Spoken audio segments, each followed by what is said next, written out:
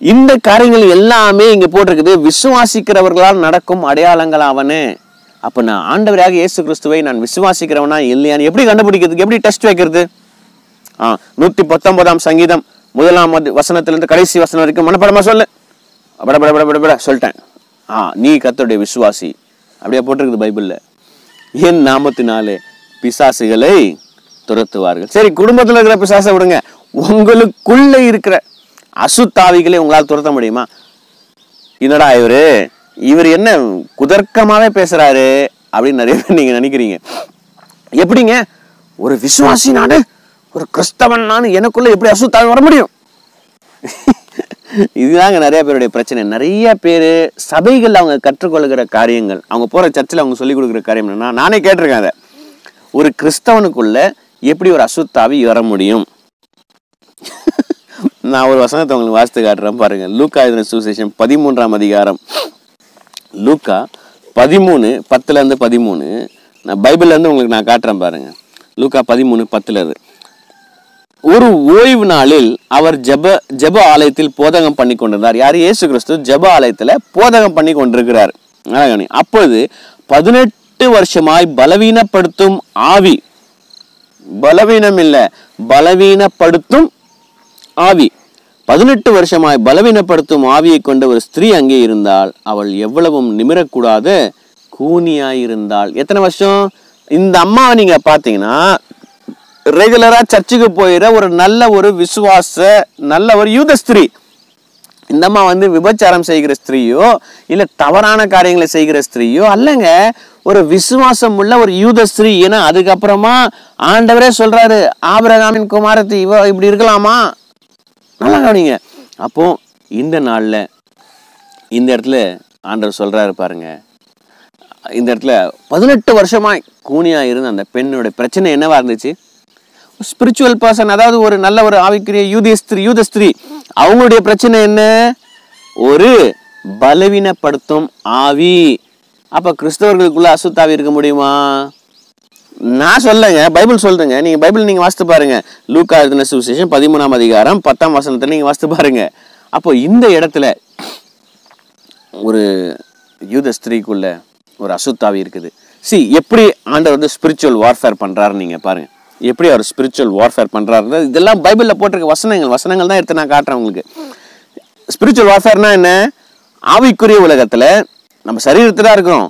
ஆனால் we are dealing with spirits see we are dealing with spirits நான் ஏற்கனவே சொன்னேன் God is a spirit Satan is a spirit angels are spirits and the evil spirits de- இந்த அசுத்தாவிகள் எல்லாமே ஆவிகள் தான். அப்போ நான் என்ன பண்ணுறேன்னா இந்த ஆவிக்குரிய உலகத்தில் நான் உள்ள I am tapping into the spiritual world அதான் இயேசு கிறிஸ்து செஞ்சார். இயேசு கிறிஸ்து அந்த அம்மாவை பார்த்து என்ன சொல்லார் பாருங்க? அந்த அம்மா பதினெட்டு வருஷமாக சர்ச்சைக்கு வந்திருக்குது. அது எல்லாம் யாரும் கண்டுக்கல. அது அப்படிதான் இருக்கும் அது வந்து பலவீனம் சுகவீனம். அது அப்படி தான் அந்த அம்மா அப்படிதான் செத்து போக போகுது. பதினெட்டு வருஷமாக இருந்த அந்த அம்மாவை இயேசு அவளை கண்டு தம்மிடத்தில் அழைத்து கூப்பிடுறார். கூப்பிட்டு ஸ்திரீயே உன் பலவீனத்திலிருந்து விடுதலையாக்கப்பட்டாய் என்று சொல்லி அவள் மேல் தமது கைகளை வைத்தார். நானிங்க கவனிங்க. அந்த அம்மாவுடைய பிரச்சனை என்ன? இதுக்கு முன்னாடி நான் வாசித்து காட்டினேன். பலவீனப்படுத்தும் ஆவி. அந்த பலவீனப்படுத்தும் ஆவினா ஏன்னா இந்த அம்மா ஸ்ட்ரைட்டாக தான் இருந்துச்சு. அந்த பலவீனப்படுத்தும் ஆவி இந்த அம்மாக்குள்ள வந்ததுனால இந்த அம்மாவை வந்து நிமிர்ந்து நிற்க முடியாதபடிக்கு அப்படியே இப்படியே குனி அப்படியே குனிஞ்சு தான் போகணும் இந்த அம்மா. அது செஞ்சது யாரு? செஞ்சது யாரு? பைபிள் நான் இப்போ தான் வாசித்து காட்டினேன் பலவீனப்படுத்தும் ஆவி. அப்போ ஏசு கிறிஸ்து என்ன பண்ணுறாரு he is doing spiritual warfare அந்த அம்மாவை கூப்பிடுறாரு. அந்த அம்மாவை கூப்பிட்டு என்ன பண்ணுறாரு பலவீனப்படுத்தும் ஆவியிலேருந்து உன்னை விடுதலை ஆக்குறேன்னா என்ன அர்த்தம் இந்த அசுத்தாவிய நான் துரத்துறேன் அப்படின்றாரு. அதான் சிம்பாலிக்காக சொல்கிறாரு அப்போ என்னாச்சு? தமிழ் கைகை வைத்தார். உடனே அவள் சி உடனே அட் தட் மூமெண்ட் உடனே அவள் நிமிர்ந்து தேவனை மகிமைப்படுத்தினாள். நல்லா நீங்கள் புரிஞ்சுக்கோங்க. நல்லா நீங்கள் புரிஞ்சுங்க. ஹவு ஜீசஸ் டிட் ஸ்பிரிச்சுவல் வார்ஃபேர்ன்றதை பற்றி நான் பேசிகிட்டு இருக்கிறேன். இயேசு கிறிஸ்து அந்த அம்மா பார்த்தாரு. சி சிஸ்டர் உங்கள் பிரச்சனை வந்து சரீர பிரச்சனை இல்லை சிஸ்டர் உங்கள் உங்கள் பிரச்சனை சரீர பிரச்சனை இல்லை. சரி சர்வர் பிரச்சனை இல்லையான்னு எப்படி கண்டுபிடிக்கிறது? நீங்கள் டாக்டர் கிட்ட போயிட்டீங்க. இந்த டெஸ்ட் எடுங்க. சரி எடுத்தாச்சு. டெஸ்ட் நார்மலாக தாங்க இருக்குது. சரி அந்த ஸ்கேன் எடுங்க. எடுத்தாச்சு நார்மலாக தாங்க இருக்குது. சிடி ஸ்கேன் எடுங்க. சரி சிடி ஸ்கேன் எடுத்தாச்சு. அதுவும் நார்மலாக இருக்குது. அந்த எக்ஸ்ரே எடுங்க. எக்ஸ்ரே எடுத்தாச்சு. எல்லா ரிசல்ட்டுமே நார்மல் ஆனாலும் எனக்கு வயிறு வலிச்சுக்கிட்டே இருக்குது பிரதர் என்னங்க அது டாக்டரால் என்னென்ன டெஸ்ட்லாம் எடுக்க முடியுமோ உலகத்தில் இருக்கிற எல்லா டெஸ்ட்டும் பண்ணிட்டாங்க என் உடம்புல.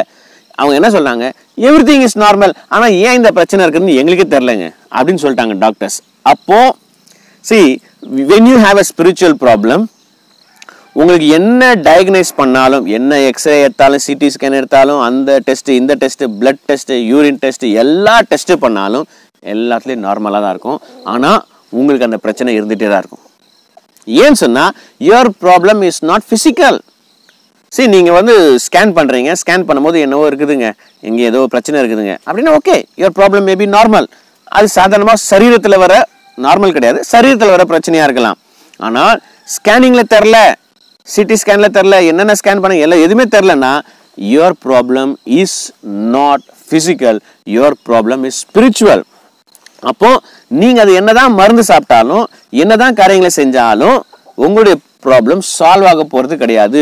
You have to deal it in spiritual way ஆவிக்குரிய ரீதியில் தான் உங்கள் ப்ராப்ளத்தை நீங்கள் சால்வ் பண்ண முடியும். அது எப்படி சால்வ் பண்ண முடியும்? அதை நீங்கள் தேடி ஆவிக்குரிய ரீதியில் நீங்கள் ஆவிக்குரிய யுத்தம் செஞ்சு அந்த ப்ராப்ளத்தை நீங்கள் சால்வ் பண்ணலாம். இயேசு கிறிஸ்து பதினெட்டு வருஷமாக குனிஞ்சியே இருந்த அந்த அம்மா வந்து ஒரே நிமிஷத்தில் சரியாகிட்டாருங்க.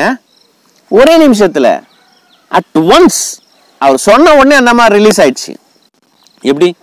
திஸ் இஸ் ஸ்பிரிச்சுவல் வார்ஃபேர் தொடர்ந்து பேசுவோம்.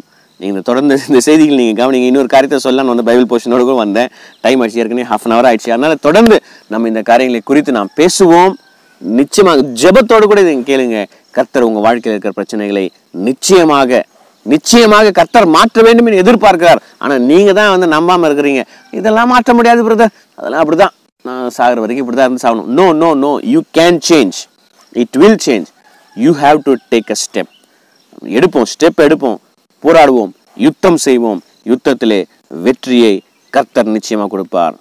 ஆமேன்.